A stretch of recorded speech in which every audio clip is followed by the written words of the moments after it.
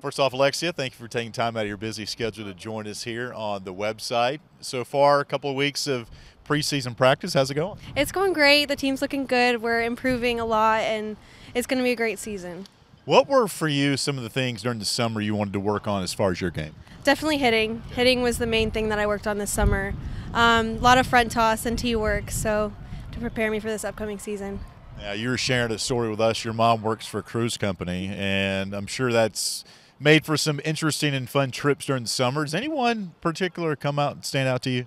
Um, when we went to Canada and New England, that was probably one of the biggest ones, but that was the last one we went on. So, being young, I can't really remember any of the other ones besides going to Alaska. So, you talked about your hitting. What are some of the drills that you worked on that maybe you, you haven't worked on before, but just sometimes not to do the normal stuff can kind of help things out a little bit. Um, I broke it down into like fundamentals, so I would work on my top half and lower half, keeping it all together, and keep working on my hand path. So to work on the different pitches on the inside and the outside to stay inside the ball. So that was what I worked on.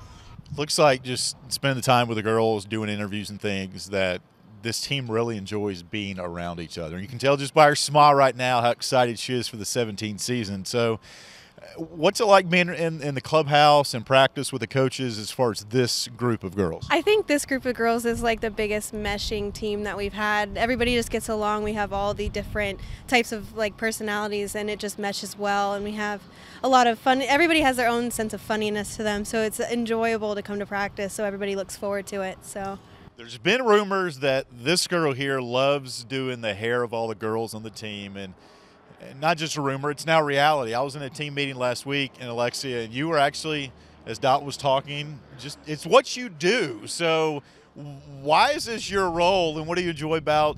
You know, getting the girls' hair bows and things ready for game. Um, I do makeup too, so that, that's true. That's true. That's an important part. Um, the hair is just they saw me doing mine one day and it just was like, oh, can you do mine? I was like, yeah, sure, whatever. And so then it kind of just turned into an everyday, every game day type thing. So just part of the rituals now. I got to know how long does this take? Because there's 22, 23 girls on this team, and not everybody needs it done the same. But I mean, literally on a game day, how long does it take? And is it home and away? Um, home and away. Okay. More home than away, though. Right. Um, but it, if I do hair and makeup, it obviously is going to take longer. But um, it's just something I like to do. But it doesn't take that long, so.